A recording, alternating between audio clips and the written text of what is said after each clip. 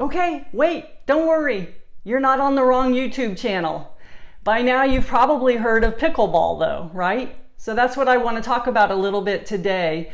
Um, not so much how to play pickleball, but in my opinion, the reason why to play pickleball.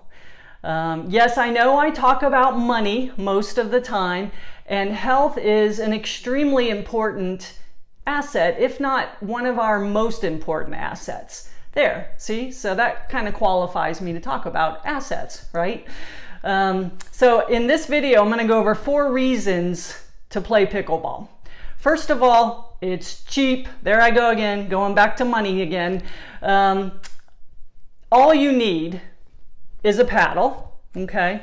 This particular one cost me a whopping $20, okay? It's probably one of the cheapest ones out there. I've seen some that are $200.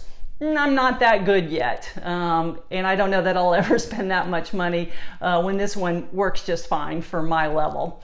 Um, but all you need is that, a ball, which most of the time um, somebody has one. So all you have to do is show up. Sometimes you don't even need a paddle because a lot of people will bring a paddle with them, an extra paddle. I have an extra paddle. So somebody that I invited that doesn't really know if they want to play yet or get into this, I'd say, hey, just show up and I have an extra paddle. Let's go out there and just give it a try.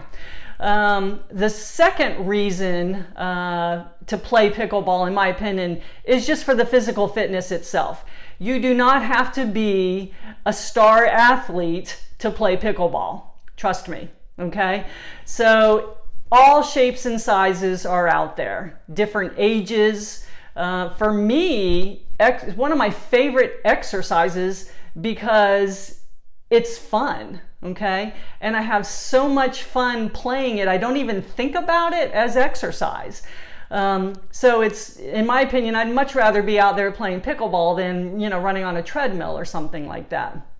So physical fitness is extremely important. Uh, one of my favorites is the social aspect, okay?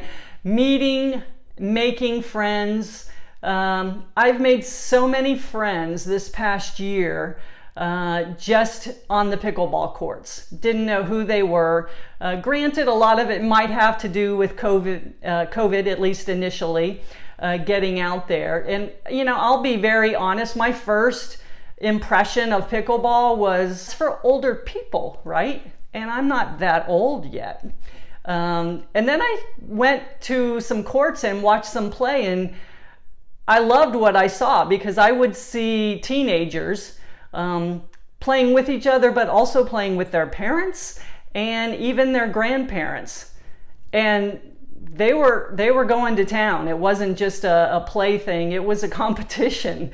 So I love that part of it. The social aspect is so much fun. And you know, things like that, in my opinion, are a great way to help with things like depression. You know, sometimes we just get stuck in our world and we just don't leave our home and we don't, uh, you know, interact with people. This is the perfect opportunity to do it. You don't have to know anybody, just show up. Um, and the fourth and final, but definitely not the least, is the health aspects. You know, um, it's been known to improve mobility, uh, reflexes and balance, and even minimize arthritis. You know, now obviously these are things that are hopefully for people that are older and that you have many years before that any of those affect you. But I see people out there all the time. I'm telling you, they're not athletes but they can get around. Sometimes they can't get around great, but they're good enough to play some pickleball. So don't let that limit you don't think that other people aren't going to want to play with you because you're not 100% perfect physically. Okay, so those are the four main reasons is that we want to be as easy to deal with in our later years for our family, right? So sometimes it's easier for us if we are able to keep ourselves healthy, then our kids aren't going to have to come over and help us uh, do something or even move about in the house. So, extremely important on the health issues. Um, so, again, all you have to do, folks, show up. Don't worry about being great. Don't worry about knowing all the rules. Don't go play in the corner until you get good. That's the fun part. Go show up with, uh, whether you're there by yourself or not. If it's easier to show up with a friend, show up with a friend. But go enjoy, have fun, and laugh. And hopefully, I'll see you out there.